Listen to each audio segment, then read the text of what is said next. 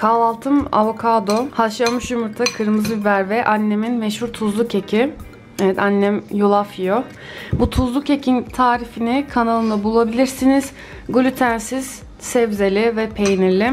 Çok lezzetli bir kahvaltı keki diyebilirim. Canım annemin ellerine sağlık. Şimdi bunları yiyeceğim arkadaşlar. Evet şimdi ben geldim. Sabah annemle bulmaca çözerken kahvemizi falan içtik. Şimdi yüzüme maske yapacağım ve saçıma böyle badem yağı süreceğim. Banyodan çıkınca sonra cilt bakımı yapacağım. Tabii bunu yarım saat bekletiyorum saçıma girmeden önce. Önce maskemizi yapalım. Kalan avokado sabahtan. Bunu direkt kabuğunu da suratınıza sürebilirsiniz, bekleyebilirsiniz. Onu da yapıyorum. Ama sabah maskesini yapacağım direkt. Birkaç damla lavanta yağı damlatacağım. Buna aynı zamanda gül suyu koyabilirsiniz. Birazcık bal koyuyorum. Bal cildinizi en güzel nemlendiren şeylerden biri. Yumuşacık yapıyor. Aynı zamanda zerdeçal cildinize çok iyi gelen bir şey. Şimdi iyice karıştıralım. Hiç böyle gidip maskelere para vermeyin arkadaşlar. Evde kendiniz doğal yöntemlerle, katkı maddesiz. Çünkü o maskelerin içinde İçeriğini okumadığın sürece ne olduğunu bilemezsiniz. Önce bu ortasına sonra böyle yanlarına sürüyorum. Sonra böyle enseme sürüyorum. Badem yağı. Yarım saat bekletiyorum saçımda. Sonra banyoya giriyorum. Şampuanıma da ayrıca şey damlatıyorum. Bepanten ve Evigen iğne miydi? Bepanten miydi anne o? Evet. Onları damlatıyorum. Aynı zamanda biyotin ve çinko kullandım. Saç dökülmemi bayağı azalttı ama kullanmayı bırakınca yine birazcık başladı tabii. Hatta bazen spor yapmadan önce sürüyorum. Şimdi saçımı topluyorum. Ve maskemizi yapacağız. Bir elimi yıkıp geleyim. Lavanta yağı da sivilce için iyi geliyormuş. Ama çok kötü kokusu var. En iyisi elimle süreyim. Tamamen şireye benzedim. Evet şimdi ben bu maskeyi bir 15-20 dakika tutayım. Sonra banyoya gireceğim ve banyodan sonra görüşürüz arkadaşlar. Yeşil değilken yani. Yeniden karşınızdayım arkadaşlar. Şimdi cilt bakımı için geldim. Sonra önceki çektiğim videonun editine başlayacağım. Bu karantina vlogu çektim. Bir gün karantinanda bir günüm nasıl geçiyor adlı. Bunu zaten izlemiş olacaksınız bu yayınlarına kadar. Umarım beğenmişsinizdir. Karantina vlogları çok seviliyor. Bana en azından öyle siz geri dönüş yapıyorsunuz. Yeniden merhaba arkadaşlar. Şimdi size ara önümü göstereceğim. Saat 3.30'a geliyor. Eğer sabahları geç kahvaltı yaparsam sadece ara öğün yapıyorum. Zaten spora gittiğimde normalde öğleden sonra kahvaltıdan sonra spora gitmiş oluyorum. Gelene kadar saat 3.30-4'ü buluyor. Bu yüzden sadece ara öğün yapıyorum. Çünkü akşam yemeğine az kalmış oluyor. Hani akşama tıkanmamak için. Her neyse erken yersem zaten 1.30-2.30 gibi öğlen yemeği yiyorum. Ara öğünde hafif böyle kuru meyve ya da taze meyve atıştırıyorum. Normalde 4.30 gibi falan. Şimdi e, sabah kahvaltımı güzel yaptığım için sadece ara öğün yapmak istedim. Yani akşam yemeğim dolu dolu olacak. O yüzden mutfağa geçelim.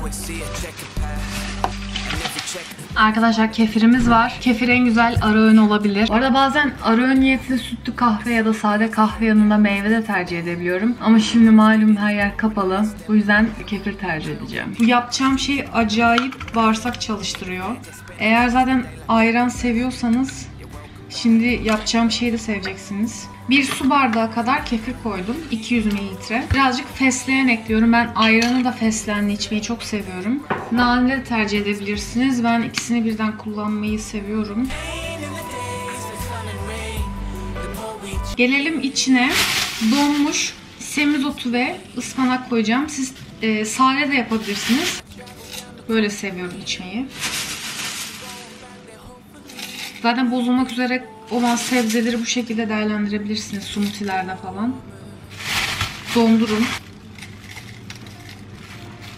Ispanağı koyarken hep döküyorum. İçine donmuş muz da atabilirsiniz. Ben şu an tercih etmeyeceğim. Unuttum içine makayla moringa tozu da koyacağım.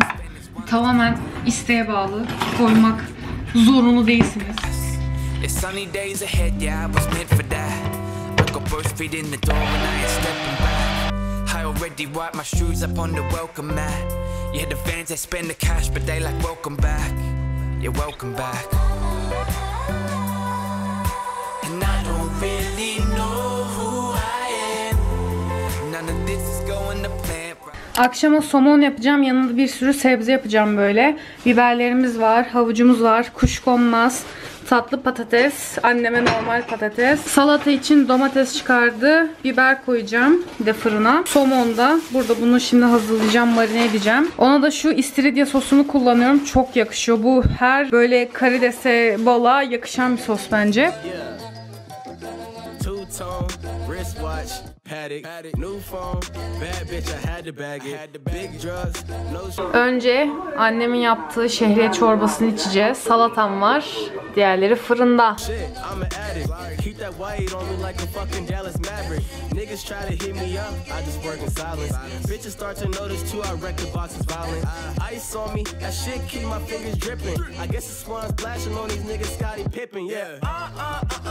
I do what I wanna. Till the summer. You ain't a real nigga if you pull up with the gunner. I'm in my bag, I'm born to do this, it's not an option. We in the cab. Ram. Biz Ram'la çok yürüdük geldik değil mi? Ağzını siliyor. Şimdi çay koyduk. Çay keyfi yapma zamanı. Son iki haftadır falan sadece yürüyüş yapıyoruz akşam yemekten sonra. Köpüşleri alıyoruz, yürüyoruz onlarla beraber. Zaten şu an renkli dönemimdeyim. O yüzden başka spor yapasım gelmiyor. Tek yaptığım şey yürüyüş.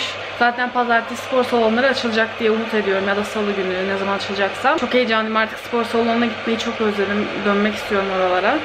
Bir vlogun sonuna geldik. Bir gün boyunca neler yorum videosu izlediniz. Kanalıma abone olup bu videoyu beğenmeyi unutmayın. Aynı zamanda zil butonundan bildirimleri açabilirsiniz. Ve beni Instagram'dan takip edebilirsiniz. Hepinizi çok seviyorum. Kendinize iyi bakın arkadaşlar. İyi geceler.